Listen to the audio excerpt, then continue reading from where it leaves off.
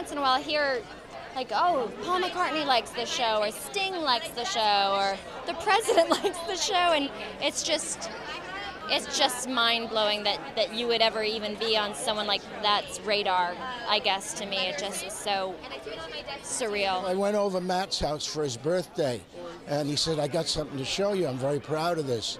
And on the wall, he's got a lovely postcard from Obama. Oh, dear Matthew, Matt, Mr. Weiner, whatever. How we enjoy Mad Men. We so appreciate it. We're up. We're all done with season three, and we look forward to season four. I think Matt went right to the office and sent him season four. It blows your mind. I remember meeting um, Tom Hanks and, and, and his lovely wife, and they had fans of the show, and that blew my mind because I'm a huge fan of his. And I hear Meryl Streep watches the show, which blows my mind. I love her.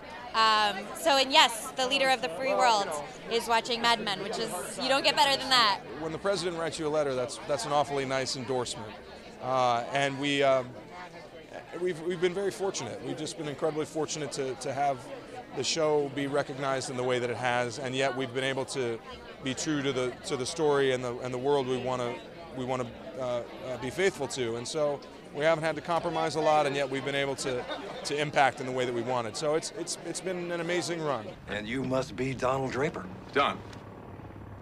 Bob,